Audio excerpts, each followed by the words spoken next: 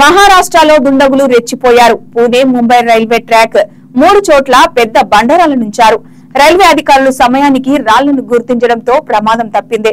రైలు పట్టాలు తప్పేందుకు ఈ కుట్రలకు పాల్పడ్డారని అధికారులు వెల్లడించారు. ఇటీవల రాజస్థాన్లోని జైపూర్ ఉదయూర్ రైల్వే ట్రాక్ పైన కొందరు రాళ్ళను పెట్టిన విషయం తెలిసిందే. ఇలాంటి దుండగులను కఠినంగా శిక్షించాలని డిమాండ్ చేస్తున్నారు.